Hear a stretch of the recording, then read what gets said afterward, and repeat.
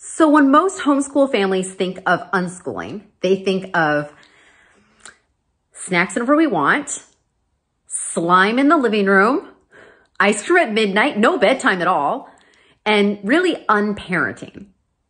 Oftentimes unschooling and unparenting seem to mean the same thing. But I'm here to tell you as a grown unschooler and an unschooling parent myself, that is just not true.